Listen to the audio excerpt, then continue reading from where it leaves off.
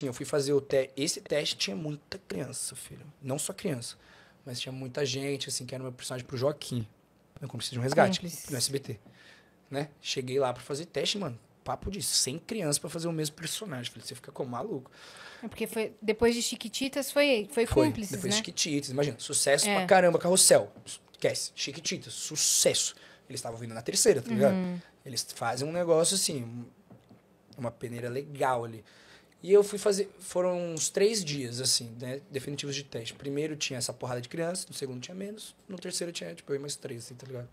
Aí a gente chegou, fiz. Eu fiz o teste com meus irmãos que passaram também, que é Kevin Vecchiato, Bia Jordão, né? E foi muito legal, porque a gente foi ali, teve aquela conexão ali. São Aquela química, né? queridos, a gente trabalhou muito tempo junto. O Kevin tá eles. enorme, né, velho? Kevin tá enorme, mano. Enorme. E ele postou um vídeo esse, dias no Stories, da época que a gente filmava, ele lá no meu sítio. Ele era muito bebê. Mas, mano, posso falar? Eu causava tanto, eu e o Kevin. E a gente tem uma diferença de idade, assim. Eu tinha na época 13 e o Kevin tinha, devia ter 8. É, era 8 que o Kevin tinha.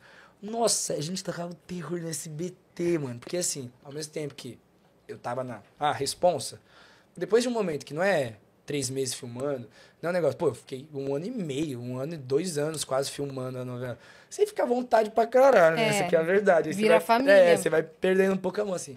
E Eu- no SBT ainda, que é maior clima de. Não, é. E, tipo, a mesma equipe Quintal, também, né? o tempo Muito inteiro a gente é foda lá. criança, tá ligado? Rapaziada, olha pra gente com maior carinho, tipo, com paciência, sabe? Uhum. Então a gente vai gastando, né? A paciência dos outros. Aí o Kevin, Eu assim, percebo uma diferença muito grande do- dos bastidores do SBT pra outras emissoras, assim. É, não, rapaz, são todos muito queridos lá. assim. Muito, muito, muito.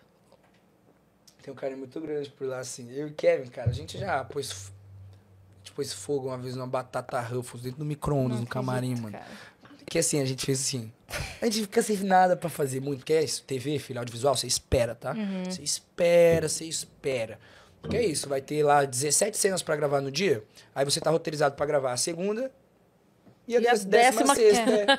aí você vai pra onde? Não, não, não, não, você vai ficar sentadinho ali, bonitinho, sem amassar a roupa. Uhum, sem suar. Sem suar, sem dormir, sem nada. Sabe que uma, uma vez Ele tá o. ready, né? Uma vez o Marcelo Médici me contou uma história de um ator, eu não lembro quem era. Mas ele contou que a galera tava meio que questionando o salário do ator, que assim, que ganhava muito, né? E aí começaram a encher o saco dele. Aí ele foi pro diretor lá da TV e tal e falou assim: Não, tudo bem, ó, vamos fazer o seguinte. é, você não precisa me pagar mais. Eu, venho, eu atuo de graça. Eu amo, eu amo atuar. Você não precisa mais me pagar. Você me paga só pelas horas que eu espero. aí Sei. o cara, eu acho É que tá isso. ficando mais caro. É, acho que tá passando tudo um bem. cota. É, cara, espera